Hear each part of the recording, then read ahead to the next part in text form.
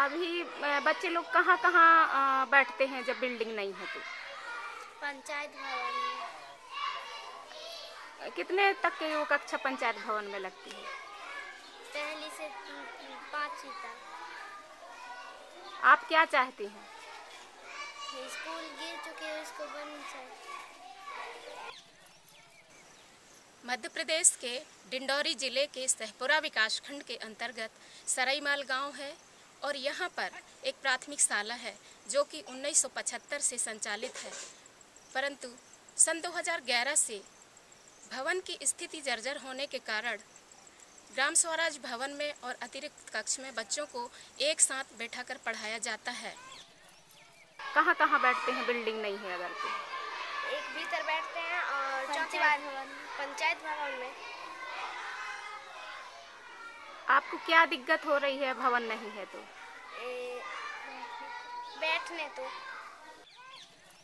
यहाँ पर कुल तीन शिक्षक हैं और कुल बच्चे छिहत्तर हैं। यहाँ पर शिक्षा के अधिकार कानून का उल्लंघन किया जा रहा है।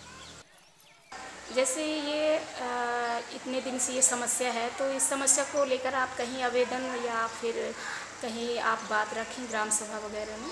हाँ मैडम हमने ग्राम सभा जो होती है वहाँ पे भी दिए बीआरसी में भी दिया कि यहाँ पे बिल्डिंग की कब की टूट गई है करके उनको जल्दी से जल्दी बनवाया जाए ताकि हमारे बच्चे यहाँ पे बैठक व्यवस्था उनकी सही हो जाए।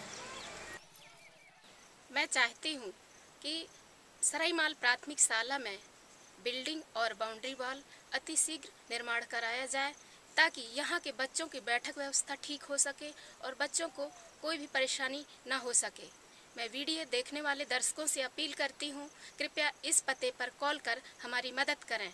पता है, विकासखंड शिक्षा अधिकारी शहपुरा, मोबाइल नंबर तेरासी उनचास तेरासी बारह तैंतालीस। मैं सरोज परस्ते, ग्राम सराईमाल, विकासखंड सहपुरा, जिला डिंडौरी, मध्य प्रदेश से इंडिया अनहट के लिए।